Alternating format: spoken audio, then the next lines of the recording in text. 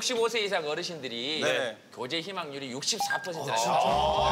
64%면은 많은 분들이 마음속에 아직도 예, 그런 마음이 있으시다는 얘기네요. 그래서 요즘 새로운 단어가 BC라고 들어봤어요, BC.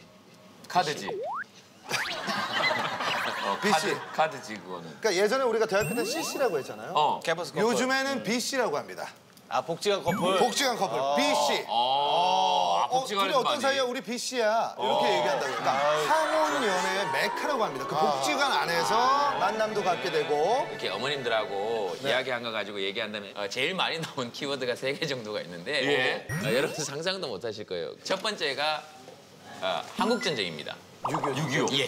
왜냐하면 직접 몸으로 겪고 아, 그러네요. 기억이 나시겠네.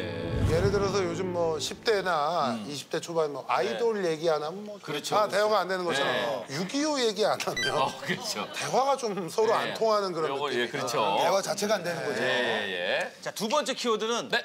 블루스라고 합니다. 블루스. 네. 그러니까 요즘 복지관에 가면 네네. 탱고, 지르바, 차차차 어. 이걸 다 섭렵하는 분들이기 때문에 예, 예. 춤을 얘기 안 하면 네. 아, 대화가 안 통한다. 자, 마지막 네네. 세 번째 키워드는 외로움. 외로워.